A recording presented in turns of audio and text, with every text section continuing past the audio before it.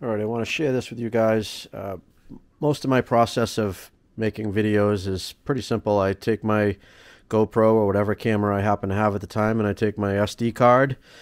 And I was excited that the new MacBooks uh, now have uh, SD card readers, uh, which is supposed to be UHS-2 speeds, which is up to like 300 megabytes a second or whatever. So I upgraded my SD card uh, to a UHS Type 2 unit, and uh, I've I ran I had to buy the uh, SD adapter to to convert the uh, micro SD to a full size SD, uh, and that had to be compatible as well with the uh, the faster speeds. Uh, so I, I bought like a five pack of these things on Amazon, which work well. And so I thought we pretty much got our speeds that we we are expecting. I run a disk speed test and uh, oh, that would be the inboard drive. Let me change that. We're going to uh, select the my uh, SD card right here and it's going to show like about I think it's about 130 megabytes of re uh, of write and it's going to show about 240 megabytes a second on the read side and I'll show you there you go. There's your specs. Okay, so keep those numbers in mind. We got about 133 and 200 and whatever. Okay, doesn't really matter. It doesn't have to be exact, but that gets you in the ballpark of what we're expecting. Okay, so you can see that 238, 237, then it goes back down. All right, so. Uh, what I also have is one of these uh, card readers that was plugging into the USB uh, or the Thunderbolt uh, connector and uh, I thought I would just eliminate this now and not have to carry that and I could just use this little adapter here uh, instead. And I didn't eject that properly. The computer's yelling at me. So what I'm going to do now is I'm going to take that very same try to do this with the camera here. Take that very same SD card okay which I got right here. And I'm going to put it into this card reader Okay. Got that right there, and that's just plugged into the side. And we're going to run that same disk speed test, okay?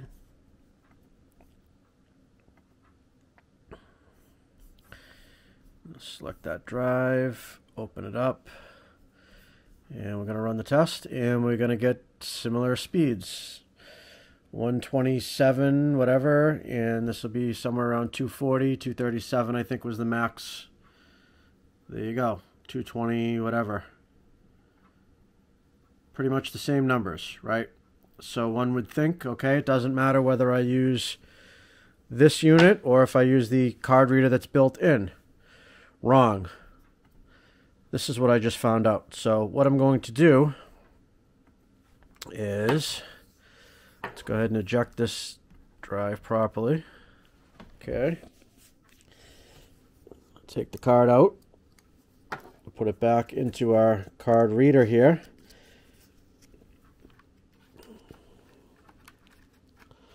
What I'm going to do is copy copy the first three files that are uh, uh, what are they uh, clips from uh, my DJI camera. So I'm going to copy this DJI uh, 15, DJI 11, and DJI 6 to give you an example. So I'm just going to select those three, okay? Hopefully that's coming out on the camera. But uh, it's a total of 12.28, I think, uh, gigabytes. And I'm just going to grab it and drop it on the desktop. And I'm going to time it at the same time. Let go. One, two, three, go. Oh, I already did this test. Let me delete these ones. There we go. Empty the trash so we know that it's not still in memory. It's gone. Okay. Let me go back. I'm going to take these three.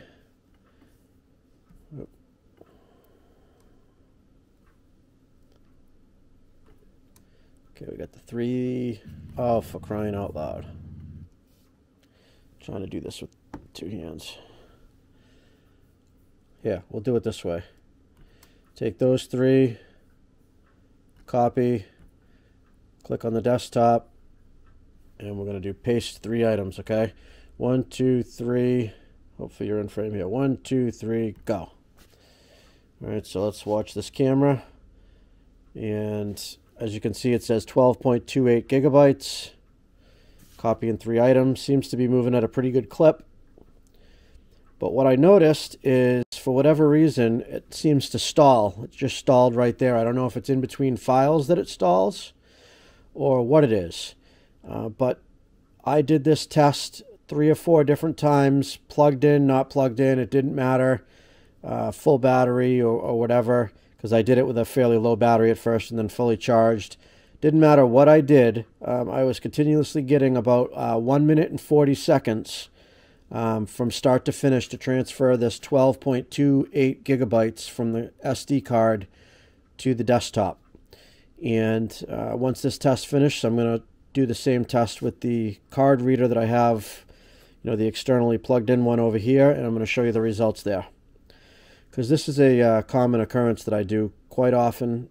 You know, anytime you're taking footage from one of your cameras, you stick the card in the computer, and then you, a lot of times you transfer it onto, uh, you know, an SSD, a scratch drive, or whatever.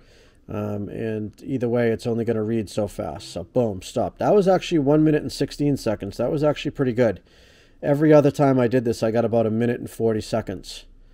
Uh, this is the first time I've got it that fast. So, all right, what I'm going to do, I'm going to delete these.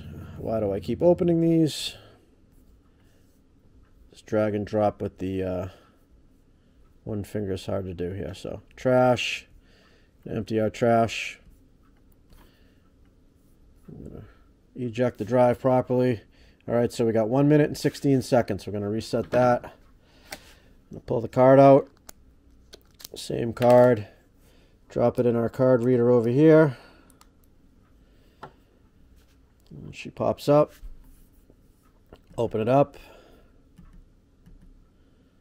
Okay, I'm going to uh, arrange by size. Then we got our same three items. DJI 15, 11, and 6. I'm going to select those three. Copy. Click on the desktop, right click, and then I'm going to paste and start at the same time here. You ready? One, two, three, go. Just going to probably fast forward this, but you'll see uh, how much quicker this was.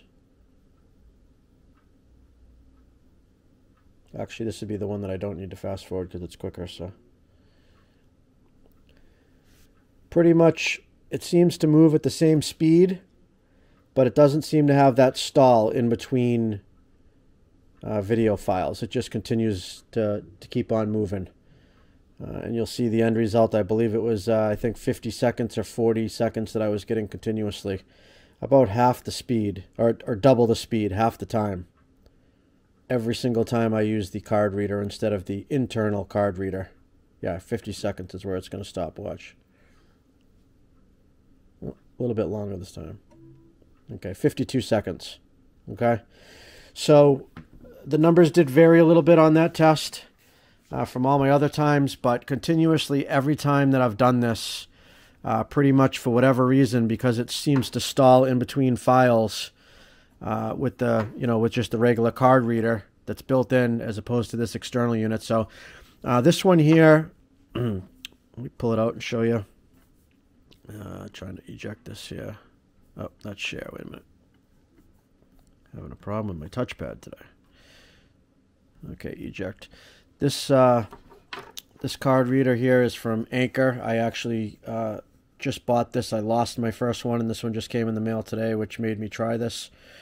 Uh, I think it was twenty nine ninety nine uh, on Amazon, and I think it comes to you in one day. I think it's like uh, next day shipping. I guess depends on where you live, but but it's got the slot for your uh, full size SD or the micro SD. So either way, you know when I'm traveling with my SD, my mini SD or micro SD card, I need to have something to convert it to put it into the computer. I either need this or I need this. Granted, this is bigger, but speed wise uh, you know, and I haven't done enough tests where, you know, multiple files. Maybe if I did 10 different files, maybe that uh, pause in between files is even longer uh, and you know it actually makes it even worse results. So I don't know, but something to keep in mind because I didn't know for the longest time. Um, I just ran the disk speed test, and it seemed that no matter what, if I use this or if I use this, I was getting the same speeds, which I am, but for whatever reason, there's these pauses in between the transfer